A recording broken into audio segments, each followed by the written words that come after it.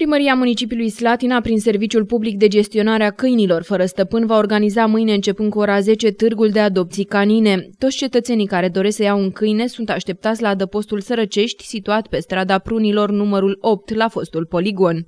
Uh, târgurile de adopții canine vor continua și pe parcursul acestui an, scopul fiind promovarea adopției și a creșterii responsabile a animalelor de companie. Pentru toți cei care își aleg cu sufletul cel mai bun prieten, se vor organiza târguri de adopții lunare, în cadrul cărora vor fi promovați câini proveniți din adăpostul de animale de la uh, adăpostul Sărăcești. Adăpostul este în momentul de față aproape la capacitate maximă, peste 150 de câini cu vârste cuprinse între 3 luni și 10 ani care nu au fost revendicați pot fi încredințați spre adopție. Cei care doresc să iau un câine din adăpost trebuie să se prezinte cu o serie de documente.